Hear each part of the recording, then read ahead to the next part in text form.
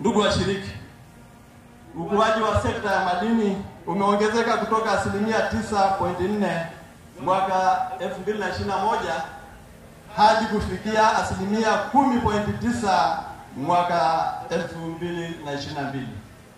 Vile vile mchango wa sekta ya madini umeendelea kuongezeka na katika pato la taifa mchango wa sekta yetu imeongezeka kutoka asilimia 7.3 mwaka 2021 hadi kufikia asilimia 9.1 kufikia mwisho wa mwaka jana wa 2022.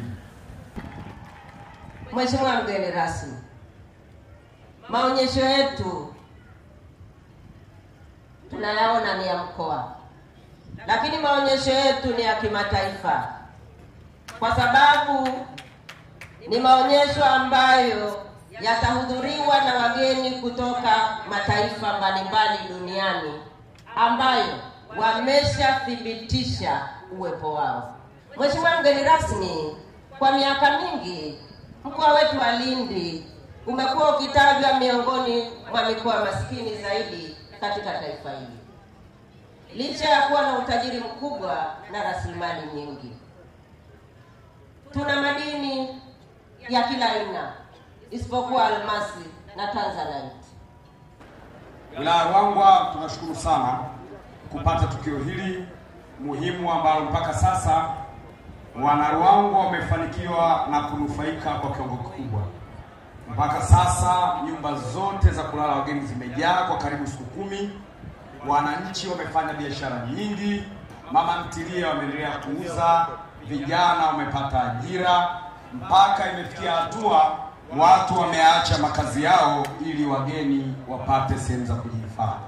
Tunashukuru sana kwa tukio hili kubwa, sisi tumenufaika, na ni imani yangu kwa mwanzo huu basi wilaya na mkoa kwa ujumla tutanufaika sana. Sisi kama Wizara ya Viwanda tunaitambua fursa kubwa iliyopo mkoani Lindi. E, kama walivyoongea waliopita ni kwamba Lindi tuna rasilimali nyingi, tunaanzia kwenye kilimo, madini, e, nishati ya gesi asilia, lakini hata uchumi wa bahari. Kwa hiyo tunaona kabisa kwamba fursa hii ikitumika vizuri, uwekezaji huu mkubwa ukaweza kutimika, tuna hakika kwamba ule uchumi wa viwanda ambao serikali yetu chini ya jemedari Rais Samia Suluhu Hassan tutaufikia. Karibu sana.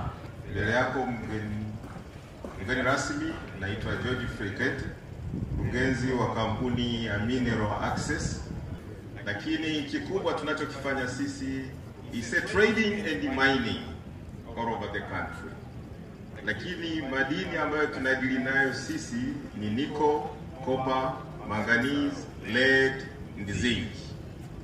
Itakuwa ni fursa nyingine na sisi tukipata nafasi kuanza masuala ya chumvi